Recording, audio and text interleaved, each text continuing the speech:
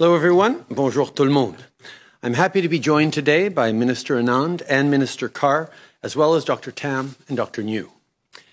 Chaque année, quand on arrive à la longue fin de semaine de mai, on sait qu'il reste environ un mois avant le début officiel de l'été. Après un hiver et un printemps difficiles, on a tous très hâte à l'été. Cette année, la longue fin de semaine a été d'autant plus spéciale puisqu'elle a marqué un point tournant dans notre lutte contre la COVID-19 on vient de franchir le cap de plus de la moitié des Canadiens qui ont reçu au moins une dose de vaccin. More than half of Canadians have now received at least one dose of a COVID-19 vaccine. And that number is going to keep going up fast because millions more doses are coming. We now rank number three in the G20 on doses administered per capita. It's clear that working together as one big team Canada is paying off. To all of our healthcare staffs at hospitals, pharmacies, and vaccination centers, thank you for being part of this historic effort. You're doing a great job. Keep it up. We're, we're all so deeply grateful. And to everyone who's now eligible to book a first dose, we're all counting on you. Make sure you get your shot when you can. If we all do our part, if we get vaccinated and continue following public health guidelines, we will have a much better summer and we will get through this crisis once and for all. There are lots of reasons to be hopeful, but that doesn't mean we can let our guard down yet. In a number of places, we're still facing a very serious third wave. Last Friday, I reached out to Premier Pallister about the extremely concerning situation in Manitoba. I also had a call with Mayor Brian Bowman of Winnipeg. I let them both know that the federal government is ready to do whatever it takes to keep Manitobans and all Canadians safe. As soon as a province asks for more assistance, we're there to help. That's why, in anticipation of Manitoba's official request for additional support to manage the situation, we're preparing to deploy health, uh, health human, federal health human resources. We're also looking at deploying medical staff through the Canadian Red Cross and sending support from the Canadian Armed Forces. In just a few moments, Minister Carr will speak more about additional support from Manitoba and what we're already doing in the province. Since the beginning of this crisis, our government has worked closely with all provinces and territories to make sure everyone is safe. And as long as this pandemic lasts, that's exactly what we're going to continue to do. Ce jeudi, on va tenir une autre rencontre de tous les premiers ministres des provinces et des territoires. D'abord, on va parler des mesures qu'on prend pour en finir avec cette troisième vague. En ce moment, ça doit être notre plus grande priorité. On va aussi parler des différents plans de réouverture. Les premiers ministres autour de la table auront l'occasion de partager leur expérience de ce qui fonctionne bien à travers le pays. À ce propos, pendant qu'on rouvre graduellement, c'est important de continuer de faire attention. Le nombre de nouveaux cas doit baisser le plus possible. On est tous heureux de voir les restrictions s'assouplir là où c'est sécuritaire de le faire, mais on doit rester responsable. Tout le monde doit continuer de faire sa part. Il faut continuer de respecter les consignes locales de santé publique et évidemment, il faut se faire vacciner quand c'est notre tour. Si on fait tout ça ensemble, on va réussir à avoir un bien meilleur été. On va pouvoir voir nos amis sur des terrasses et éventuellement, on va traverser cette crise pour de bon. Aujourd'hui, je veux aussi prendre un instant pour souligner le premier anniversaire de la mort de George Floyd à Minneapolis, aux États-Unis. On se souvient tous d'avoir vu les horribles images de ce meurtre qui nous ont scandalisés et ont choqué le monde. Mr. Floyd's death was a tragedy. and it was a reminder that there are still too many people living with anti black racism and injustice, including here in Canada.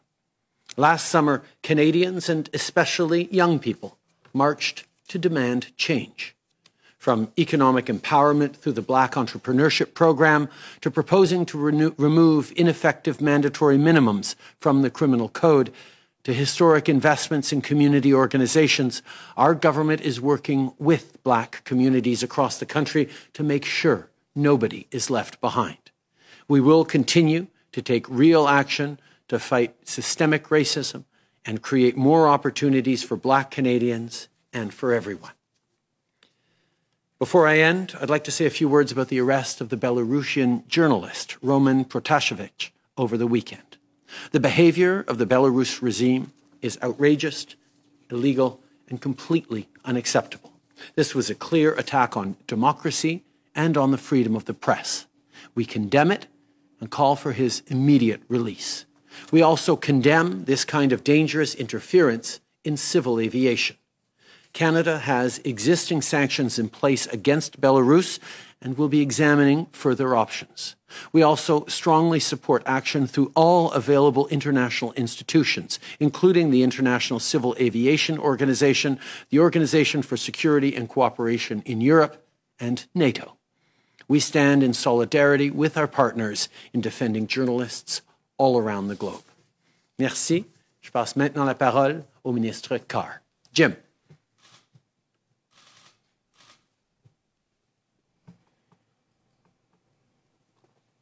Jim, you might be on mute.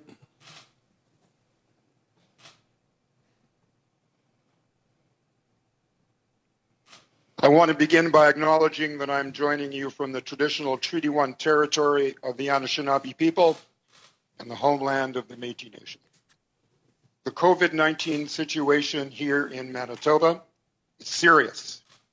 We are experiencing surges, more variants of concern, and climbing ICU rates. Our healthcare system is reaching its limit. To our essential workers, I want to say thank you. To the exhausted nurses, doctors, and other hospital staff who've been on the front lines of this latest surge, you have the gratitude and respect of our entire province. Teachers, custodians, grocery store workers, public transit operators, you've kept life going for us. You keep stepping up. Thank you. Across our province, we are feeling frustrated. Sometimes we even feel angry. We're exhausted by this virus. We've endured our first, second, and now third wave of lockdowns, of business closures, active case counts, and most tragically, lives lost. If you've lost your job or are anxious that you might lose it, if you've had to close down your business, this new surge in the virus may feel crushing. And in light of the current situation, today, departments and agencies across the federal government have again come together to support the government of Manitoba and the people of our province. In response to the recent request from the government of Manitoba, the government of Canada is preparing to deploy additional federal health resources, including medical staff to the Canadian Red Cross and the Canadian Armed Forces. The armed forces will support vaccine rollout in 23 Indigenous communities in Manitoba. And we are also providing 50 additional interviewers to do contact tracing across the province. The Government of Canada is also prepared to deploy epidemiologists, lab technicians, and increased testing capacity from the Public Health Agency of Canada and Health Canada to respond to needs identified by Manitobans. Since the beginning of the pandemic, we have responded to all 17 requests for federal assistance for Manitoba. The National Emergency Strategic Stockpile has allocated over 37 million units of personal protective equipment, vaccine and ancillary supplies, and other medical equipment to Manitoba, including nitrile gloves, disposable gowns, face shields, N95 respirators, and surgical masks. Manitoba has requested additional biomedical equipment, which the NESS expects to be able to supply. I would like to thank municipal leaders, such as Winnipeg Mayor Brian Bowman, for their leadership and to Premier Pallister for his cooperation. We all share a common goal, keeping Manitobans safe and building back better and strong as quickly as possible. For the Manitobans who are watching this update. Stay home if you can. Get vaccinated and encourage the people you care about to do the same. There is hope. More Manitobans are getting vaccinated every day. Canada is in the top three countries of the G20 delivering daily vaccinations. It's up to us to stay vigilant, follow public health guidelines to drive case numbers down, get vaccinated. As the Prime Minister has said, the federal government will do what it takes for as long as it takes to keep Manitobans and all Canadians safe. Thank you. Dr. Tam, over to you. Thank you. And bonjour toutes et tous. Nationally, prior to the long weekend, we were seeing strong and steady declines in disease trends, and data after the long weekend will tell us whether these trends continue. The latest seven-day average of 5,000 or fewer new cases report daily, reported daily is 40% lower than the peak of activity in mid-April. The number of people experiencing severe and critical illness is also decreasing as overall infection rates come down. The latest seven-day average for the number of people with COVID-19 being treated in our hospitals each day has dropped by 20% since peak activity to about 3,400 daily.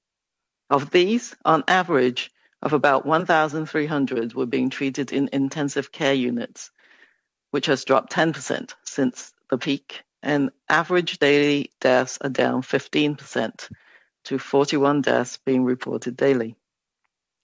With 4.5 million COVID-19 vaccine doses delivered before the long weekend, and Canadians continuing to roll up their sleeves as vaccination clinics expand across the country, our fastest moving trend is happily that of vaccination coverage. Last Friday, we reached the milestone of 20 million people having received at least one dose of COVID-19 vaccine to date. This number is increasing fast. To continue to make the progress we need, each of us has a key role to play on the vaccine runway by getting vaccinated as soon as we're able and keeping up with essential precautions such as masking and spacing, we can sustain our strong and steady progress while more vaccines roll out to help us bring this curve in for a landing. Regardless of your vaccination status, following the advice of your local public health authority, choosing lower risk activities and settings, and keeping up with essential precautions will help protect the progress we've made and set us up for a better summer while we get our house in order for a safer fall. We've been asked to do a lot to protect each other, and it would be great if we could say that this was the last wave we've ever need to worry about. But until the infection rate is well and truly down, we can't regain the upper hand and get our public health, laboratory, and health capacity back on top and ready for the fall. If we can continue cautiously through the summer while immunity is building across the country, we'll be able to reestablish proactive capacity for laboratory testing, genomic sequencing, case investigation, and contact tracing to interrupt the spread at source. Working together, we can end this pandemic and get back to the connections and activities that enrich our social and economic life and well-being in Canada. Thank you. Bonjour à toutes et à tous. À l'échelle nationale, avant la longue fin de semaine, nous avons pu observer une diminution importante et constante dans les tendances de la maladie. Les données que nous recevrons après la longue fin de semaine nous indiqueront si ces tendances se poursuivront. La dernière moyenne sur sept jours de 5 000 nouveaux cas ou moins signalés quotidiennement est inférieure de 40% par rapport au point culminant atteint à la mi-avril. Le nombre de personnes souffrant d'une forme grave et critique de la maladie diminue également à mesure que les taux d'infection baissent de façon générale. La dernière moyenne sur sept jours pour le nombre de personnes atteintes de la COVID-19 traitées chaque jour dans nos hôpitaux a diminué de 20% depuis le point culminant pour atteindre environ 3400 personnes par jour. De ce nombre, environ 1300 personnes en moyenne ont été traitées dans des unités de soins intensifs, ce qui représente une baisse de 10% depuis le point culminant. Le nombre moyen de décès par jour a diminué de 15% soit 41 décès par jour. Avec 4,5 millions de doses de vaccins contre la COVID-19 livrées avant la longue fin de semaine, et les Canadiens qui continuent à retrousser leurs manches alors que les points de vaccination se multiplient dans tout le pays, la tendance qui s'accentue est heureusement celle de la couverture vaccinale. Vendredi dernier, nous avons franchi la cap des 20 millions de personnes ayant reçu au moins une dose de vaccin contre la COVID-19 à ce jour. Ce nombre croît rapidement. Pour continuer à faire les progrès dont nous avons besoin, chacun d'entre nous a un rôle important à jouer dans la course au vaccin. En nous faisant vacciner dès que possible et en appliquant les mesures de protection essentielles comme le port de masque et la distanciation, nous pourrons continuer de réaliser de grands progrès alors que nous procédons à la vaccination massive pour nous aider à aplanir la courbe pour de bon. Quel que soit votre statut vaccinal, en suivant les conseils de votre autorité locale de santé publique, en choisissant des activités et des environnements à moindre risque et en appliquant les mesures de protection essentielles, vous contribuerez à assurer les progrès que nous avons réalisés et à nous préparer à passer une meilleure été tout en changeant nos propres comportements pour un temps plus sûr. On nous, demande, on, nous, on nous a demandé de faire beaucoup pour nous protéger les uns les autres et ce serait formidable si nous pouvions dire que cette vague est la dernière dont nous ayons à nous soucier. Toutefois, tant que le taux d'infection n'aura pas bel et bien baissé, nous ne pourrons pas reprendre le dessous et remettre sur pied nos capacités en matière de santé publique, de laboratoire et de santé afin d'être prêts pour l'automne. Si nous pouvons continuer à faire preuve de prudence pendant l'été, alors que nous essayons d'atteindre l'immunité dans tout le pays, nous serons en mesure de rétablir une capacité proactive pour les tests de laboratoire, le séquençage génomique, les enquêtes sur les cas et la recherche des contacts afin d'interrompre la propagation à la source. En travaillant ensemble, nous pouvons enrayer cette pandémie et retrouver aux relations et aux activités qui enrichissent notre vie sociale et économique et notre bien-être au Canada. Merci. Thank you, Dr. New. The Prime Minister will be taking three questions on the phone, one question, one follow-up. Same for reporters in the room. Ministers and doctor will remain available for 15 minutes afterward to answer more questions. Merci, Dr. New. Le Premier ministre va prendre trois questions au téléphone, une question, une sous-question. Même chose pour les journalistes dans la salle. Les ministres et docteurs demeureront disponibles pour 15 minutes par la suite pour répondre à plus de questions. Opératrice, c'est à vous. Thank you. Merci. Please press star one at this time if you have a question. S'il vous plaît, appuyez sur étoile 1 maintenant pour poser une question. La première question, Catherine Lévesque, La Presse canadienne. Your line is open. À vous la parole. Oui, bonjour, Monsieur Trudeau. Euh, J'aimerais revenir sur euh, vos, propos de la semaine dernière sur la Constitution et le fait que Québec veut la, modifier parce que ça a suscité beaucoup de critiques, hein, beaucoup de craintes, surtout au sein du Canada anglais. Donc, je voulais vous laisser une chance peut-être de clarifier vos propos. Vous, personnellement, est-ce que vous êtes d'accord à ce que le Québec forme une nation et que le français est sa seule langue officielle? Ça fait longtemps que ce gouvernement reconnaît qu'il faut protéger nos deux langues officielles à travers le pays, mais qu'il faut prêter une attention particulière à la protection du français, y compris à l'intérieur du Québec. C'est ce que nous allons toujours faire. Euh, en même temps, euh, nous allons, comme se doit, protéger les minorités linguistiques minoritaires à travers le pays, euh, incluant la communauté anglophone au Québec. Nous allons toujours être là pour, euh, pour défendre ces minorités. Euh, par rapport à la, nation québécoise, ça fait longtemps que je reconnais que le Québec forme une nation euh, et que effectivement, le Québec est un, un, une province qui, a comme, qui a, longtemps que je reconnais que le Québec a comme langue officielle le français. En suivi, Catherine? Oui, sur un tout autre sujet, j'aimerais revenir sur le cas de, de, Hassan Diab parce que ça a été confirmé la semaine dernière euh, qu'il va subir un nouveau procès en France. Je me demandais, est-ce que vous allez intervenir ou, votre gouvernement va intervenir dans ce dossier? Qu'est-ce que vous pouvez faire pour, euh, pour protéger ce citoyen canadien? Si euh, on reçoit une demande d'extradition de la France, ça va être analysé, analysé de façon rigoureuse euh, et euh, en, en, bonne et due forme. Um, if we receive an extradition request from Quebec, that'll be, uh, uh, sorry, if we receive a, uh, an extradition request uh, from France, uh, we will, of course, uh, analyze it with the full rigor that Canadians expect us to. Thank you. Operator, next question on the phone. Thank you. Merci. La prochaine question. The next question, Dylan Robertson, Winnipeg Free Press. Your line is open. À vous la parole. Good morning, Prime Minister. What do you think the need for federal support in Manitoba's ICU says about the provincial government's planning, preparedness, and response for the third wave of the pandemic, given what we saw in the weeks in other provinces from the, the impact of this wave? Thanks, Dylan. Uh, obviously, we are deeply concerned about the situation uh, facing Manitoba, which is why I reached out to the Premier and the Mayor of Winnipeg on uh, Friday uh, to talk about what more we could do. As uh, I said, we stand by uh, to send more support, whether it's through the Red Cross, whether it's the Canadian Armed Forces, whether it's frontline workers. my job as a federal uh, leader is uh, to be there to support Canadians in every corner of the country, uh, not to judge uh, how provinces have uh, have managed it. It's simply to be there to put the interests of Canadians first, and that's what we will always do. Jim, do you want to follow up on that?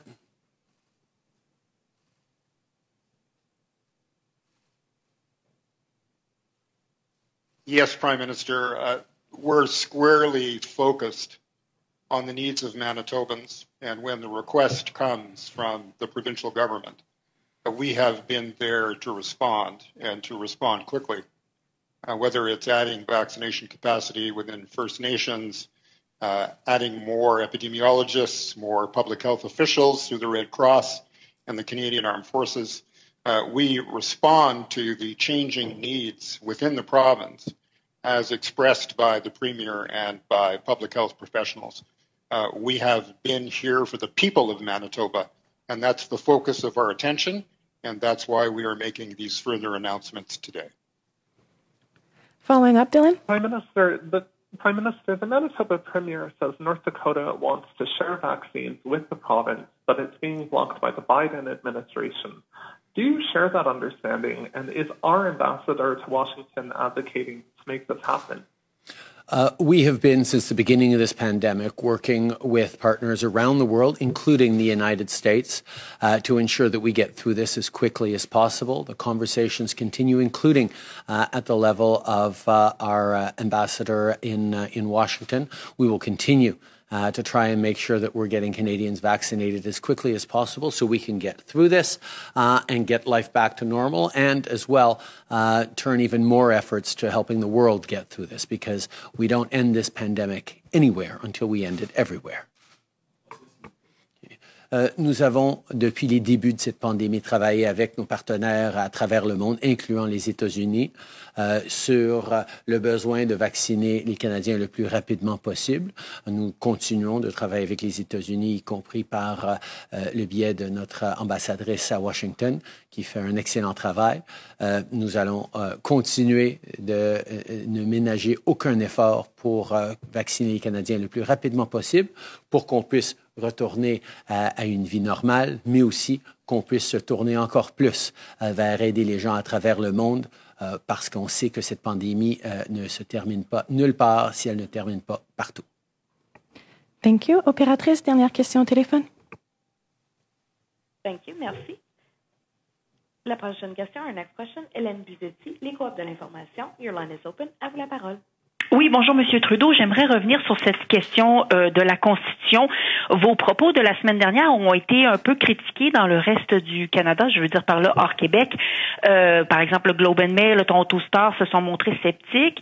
Plusieurs craignent notamment que la reconnaissance de la nation québécoise devienne une espèce de clause interprétative qui pourrait être utilisée pour euh, analyser différemment d'autres d'autres portions de la Constitution canadienne. Alors j'aimerais vous entendre. Qu'est-ce que vous pensez de cette crainte? Est-elle à vos yeux justifiée? Je ne partage pas cette interprétation. En suivi, Hélène? Oui, OK. Alors donc, euh, je ne sais pas si vous voulez en donner un petit peu plus de détails. Vous ne pensez pas qu'il y a un risque? Euh, certaines des critiques aussi craignent pour la minorité anglophone du Québec, pensent que euh, vous les abandonnez un petit peu et qu'encore une fois, dans cette logique-là, on pourrait éventuellement interpréter le, le fait que le, le français là, soit la langue du Québec, interpréter ça comme une fa un, un, un laisser-passer pour diminuer le droit des anglophones. Encore là, qu'est-ce que vous en pensez? Merci comme j'ai toujours dit, Hélène, nous allons toujours être là pour défendre les minorités linguistiques à travers le pays, incluant euh, les anglophones au Québec. Euh, mais nous reconnaissons aussi euh, qu'il faut prendre des mesures pour protéger le français à travers le Canada et au Québec. Et nous travaillons avec nos partenaires, incluant les gouvernements provinciaux, pour ce faire à travers le pays, incluant au Québec. Merci. On va maintenant passer aux premières questions dans la salle. Glenn? Uh, Glen McGregor, CTV News. Uh, Prime Minister, you've said repeatedly you don't want to have an election campaign during the pandemic. Will you commit now to not going to see the Governor General, whether interim Governor General or, or permanent uh, appointment, uh, unless the House of Commons has voted a, a lack of confidence in you until the point that the World Health Organization declares the pandemic over? As I've said, it has been one of the strengths of this country that uh, political parties, that uh, across different orders of government and indeed uh, within uh, uh, parliament and assemblies have been able to work together to get unprecedented support out to Canadians.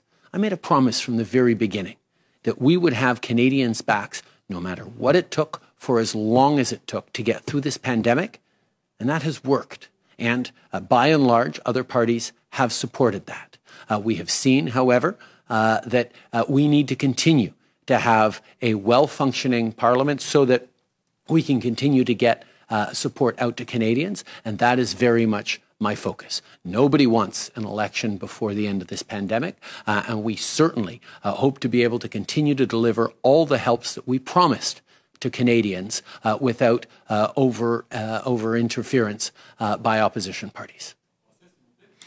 Depuis les débuts de cette pandémie, j'ai fait une promesse que nous allions faire tout ce qui est nécessaire pour appuyer les Canadiens, quelle que soit euh, la, durée de cette pandémie. Euh, on a été chanceux au Canada que les différents partis politiques euh, à travers le pays et aussi au Parlement ont pu travailler ensemble pour livrer pour les Canadiens. Mais cette pandémie n'est pas finie. Nous allons continuer euh, d'avoir besoin de livrer euh, pour aider les Canadiens à passer à travers cette pandémie. Et j'espère que euh, les partis d'opposition vont continuer d'appuyer l'aide nécessaire aux Canadiens.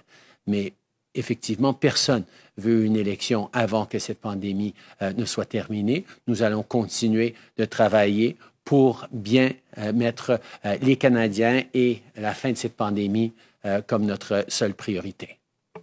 Thank you. Next question, CP. Hello, Mr. Trudeau, Hamidi with the Canadian Press. What assurances or documents do you have that Moderna is actually going to be delivering on their contract, considering that they're supposed to be the workhorse of our vaccine campaign this summer? Has Moderna been clear uh, about what's causing the delays? Actually, I would I would argue that Pfizer has actually been uh, the reliable workhorse of our vaccinations. They have uh, continued to deliver, although Moderna, particularly uh, in the early months, being able uh, to deliver uh, so many uh, doses to the Arctic and to remote indigenous communities, made a huge difference in preventing further outbreaks up in the in the north. Um, we are very fortunate as a country to have had uh, you know so many different uh, deals with so many different countries uh, companies to allow uh, for the position we are in right now where more than half of Canadians have had at least one dose of a vaccine that is what is going to get us through this. But on for uh, further comments on uh, vaccination schedules, I will turn to Minister Anand. Thank you so much, Prime Minister, and thank you for the question. Let's uh, be clear that, as the Prime Minister said, the benefit of our diversified portfolio is that it allows Canada to pull in millions and millions of doses from multiple suppliers. We have 25 million doses distributed in Canada to date, 21 million doses administered. In terms of your specific question relating to Moderna, the supplier has communicated to us that millions of doses are expected to be delivered in June and that the first shipment will come in the first part of June. I spoke with Moderna this morning actually, and my team has been on the phone with them over the past weeks, including over the past weekend. The point that I have repeatedly stressed to Moderna is the urgent need for a delivery schedule relating to June and July deliveries. But rest assured, we will be receiving millions of doses from Moderna during the month of June. We are waiting a delivery schedule from Moderna itself. Canada remains very much on track to receive vaccines for eligible Canadians to receive a first shot by the end of June and for all Canadians to be fully vaccinated by the end of September. Thank you. CBC, just a follow on uh, to that. There were some questions last week because uh, there was a, a 48 million dose number put out there, then it was more than 40 million. What's the latest on that? What do we know about how many doses we're getting when? Uh, the latest is that we have uh, now vaccinated over half uh, of uh, eligible adults in Canada, and uh, everyone who can now schedule an appointment uh, should be scheduling an appointment. We need to get everyone vaccinated. We remain absolutely confident that we will have uh, more than enough doses uh, in Canada by the end of June to give a first dose to every Canadian who wants one and uh, second doses will continue to ramp up uh, through June and into the summer. Uh, the exact numbers on Moderna, as the minister has said, we are waiting for a uh, schedule of delivery. But again, I can ensure, uh, assure all Canadians there will be more than enough doses by the end of June for everyone, every Canadian who wants it to have gotten their first dose and already starting on, uh, on uh, moving forward on second doses. Uh, anything further to add, Anita? Sure. I will just add that that figure of 40 million provided by the Public Health Agency of Canada represents only confirmed deliveries. That is, only confirmed delivery schedules are provided to the provinces and territories, and that information hasn't changed. What that number doesn't take into account is the 1 million doses from AstraZeneca that we are expecting in late June, and the millions and millions of doses that we are expecting from Moderna in June as well. And so, as the Prime Minister said, we are very much on track to have vaccines for all eligible Canadians to receive their first shot by the end of June, for all Canadians to be fully vaccinated by the end of September. And as soon as the delivery schedule comes in from Moderna, I will be sure to share it with the Public Health Agency of Canada and, of course, the provinces and territories. Thank you. Tonda MacCharles, Toronto Star. Um, Prime Minister, I'd like to hear you elaborate a little bit on some of your earlier answers around the Quebec um, amendment. And you kind of were very abrupt with Hélène when she asked you about how do you interpret this um, idea of Quebec as a nation. And I'm interested in your remarks in French. You did say Quebec forms a nation, but what the House of Commons has recognized is actually Quebecers form a nation within a united Canada. So since you seem to be suggesting it's only about language, so if you could just elaborate a little bit more on your thoughts about, to you, what does this phrase mean, the phrase that Quebec is seeking to put in the Constitution? My responsibility as a Prime Minister is to defend the Constitution and to ensure that all Canadians have their rights upheld. That means uh, protecting both French and English throughout the country, and that means ensuring protection for official language minorities across the country. That is something uh, that I have never wavered from and will never waver from the same time, we've uh, all been through the constitutional battles of the past number of decades uh, that have left many scars on many people.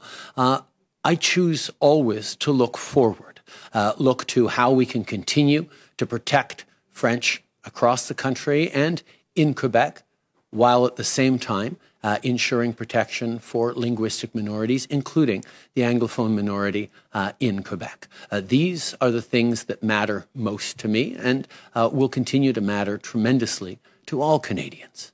At the same time, uh, there have been recognitions that uh, Quebec forms a nation. Uh, it is a historical fact, uh, a sociological fact, a fact of daily lives. Um, and it is something that, uh, that uh, even Parliament has recognized. Uh, we need to move forward uh, and ensure at the same time as we are protecting French within Quebec, we are also protecting uh, linguistic minorities in Quebec and across the country. Euh, ça a toujours été une priorité pour moi euh, de défendre la Constitution, de défendre euh, le français et l'anglais à travers le pays et de reconnaître, euh, comme on l'a fait euh, récemment plusieurs, à plusieurs reprises, euh, l'importance de protéger euh, le français y compris au Québec. C'est pour ça euh, qu'on a avancé avec des propositions pour la modernisation des langues officielles et nous allons toujours en même temps protéger les minorités linguistiques, que ce soit des francophones à travers le pays ou des anglophones au Québec. Euh, par rapport à la euh, nation québécoise, ça fait longtemps euh, que je l'ai reconnu, que le Parlement l'a reconnu. L'important pour moi, c'est de regarder vers l'avant et de s'assurer que les gens soient protégés dans, leur, dans leur langue à travers le pays. C'est exactement ce que je vais faire. Bonjour, M. Trudeau, Louis Blouin de Radio-Canada. Euh, je vais vous parler du conflit sur le lait, conflit sur le bois d'œuvre aussi avec les Américains. Ça piétine, ça fait du surplace. Euh, N'y voyez-vous pas la preuve qu'avec l'arrivée de Joe Biden, ben, son attitude sera peut-être pas nécessairement très différente de celle de Donald Trump en matière de commerce? Et là, il y a la menace de doubler les tarifs sur le bois d'œuvre. Euh, Est-ce que vous en avez parlé avec lui? Qu'est-ce que vous lui avez dit? Est-ce que vous êtes inquiet? C'est sûr que l'arrivée du président Biden a, transformé l'engagement euh, positif euh, de, des États-Unis euh, envers le multilatéralisme, envers les changements climatiques, mais on a toujours reconnu qu'il y allait avoir des défis au niveau du commerce et c'est des conversations qu'on a eues, qu'on va continuer d'avoir. Mais comme on a su démontrer pendant la présidence de M. Trump, on est là pour défendre les intérêts des Canadiens. On sera toujours là pour défendre la gestion de l'offre et nos producteurs de lait. Nous allons toujours défendre euh, notre industrie de bois d'œuvre euh, et les travailleurs euh, à travers le pays. Euh, ça va être des conversations avec les Américains certains. Il va toujours avoir euh, quelques différends, mais comme on a su très bien le démontrer, on va toujours être là pour défendre les Canadiens. I think we have seen uh, with the arrival of the Biden administration, uh, there has been a, significant change in the United States' engagement towards international rules based order, towards multilateralism, uh, and towards particularly uh, the fight against climate change and the economic opportunities that go with it, which have all been welcome. Uh, at the same time, there will always be uh, issues upon which Canada and the U.S. have disagreements we will always defend supply management and our dairy producers, amongst others. We will always uh, stand up for our uh, forestry workers and the industry across the country. Uh, we will continue, as we did successfully uh, in, uh, in the previous administration, stand up to defend Canadian interests uh, and values wherever necessary, and that will continue. Last question, Global. Minister Michael Couture with Global National. Uh, B'nai B'rith Canada is reporting that the number of anti-Semitic assaults recorded so far in, in May of 2021 surpasses the total of all of the year 2020. So I wanted to get your reaction to that sharp rise. There has been a really troubling rise in anti Semitism, uh, not just recently, although, yes, recently, uh, but over the past years as well. And the rise of intolerance in Canada uh, whether it's anti Semitism or Islamophobia or anti Asian racism or anti black racism, uh, needs to uh, stop. Uh, we need to be there to pull together, to understand that uh, people can have disagreements, but intolerance and hatred has no place in Canada.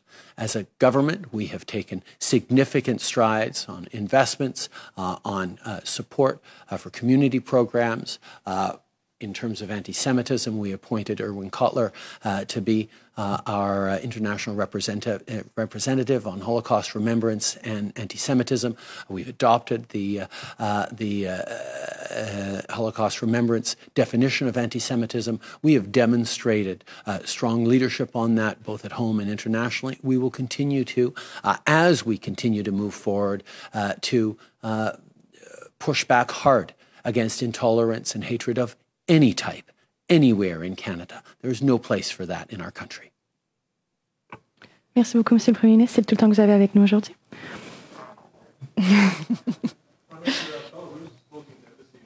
On va maintenant prendre les prochaines questions au téléphone pour les